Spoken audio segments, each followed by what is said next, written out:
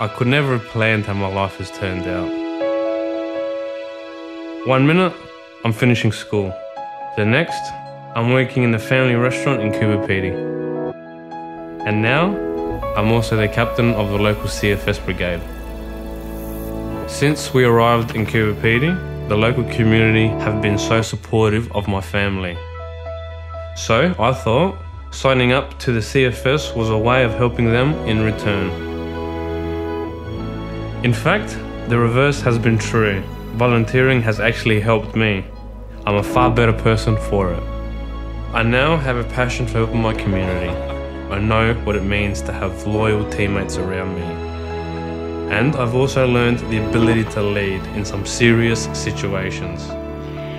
Our region is the largest in the state, so we see a wide range of callouts. I'm trained in hazmat response, Sometimes this means dealing with chemical freight accidents on the highway. First, we create a safe zone, upwind from the incident.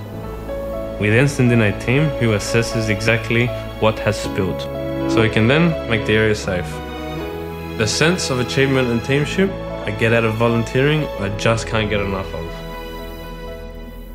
With my family's restaurant, we open literally 365 days of the year but I will always, always find the time to be a CFS volunteer.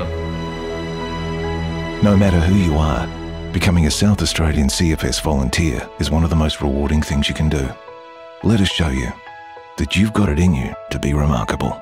For more on how to become a CFS volunteer, visit cfs.sa.gov.au.